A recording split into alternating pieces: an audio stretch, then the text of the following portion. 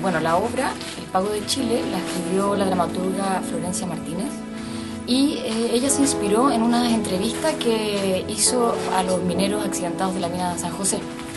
Eh, no justamente a los 33, a otros. Y a partir de estas entrevistas, eh, ella crea la obra que estamos montando ahora en el siglo XX. Debería haber bajado la ayudante grúa porque a mí no me corresponde hacer ese trabajo. ¡Casi me mato! ¡Casi me agarro la máquina en una canaleta en la que se había metido casi! ¡Puta la concha su madre! ¡Borro! Esa labor no me corresponde a mí y quiero dejar constancia de eso. La obra es un monólogo, por lo tanto es un puro actor, pero eh, la puesta en escena, eh, en la puesta en escena se integraron a dos actores más que hacen voces, que dialogan e interactúan con este personaje principal. Entonces esos dos actores eh, están, son voces grabadas, por lo tanto no aparecen, pero sí participan. Y yo le dije, el chino no se va a hacer un tatuaje porque lo escucha cantar la canción del Estocolmo. Y me dice, ah, no. Y yo le digo, no seas cortemente, es buen chato el DJ Méndez. Yo no sé por qué lo encuentras cochino, debe estar equivocada de artista, mm. definitivamente. Si eres te le escribió una canción a su mamá.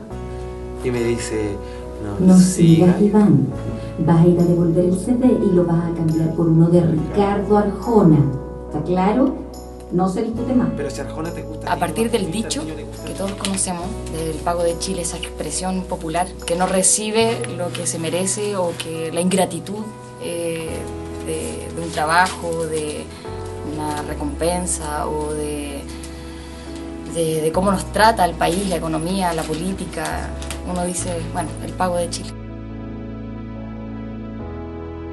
Es una obra contingente que toca un tema que yo creo que a, todos nos atraviesa de alguna u otra manera. Básicamente el estar en un lugar en el que tal vez no queremos estar, pero tenemos que estar, sí o sí. Finito, dos puntos. Aquí te mando el CD de DJ Méndez. Escúchalo con audífono para que no te lo vaya a quitar tu mamá. Los invito a que, a que compartan con nosotros esta temporada, este trabajo que lo hemos hecho con mucho cariño y que es para todo público, lo van a pasar muy bien. Eso, acompáñanos.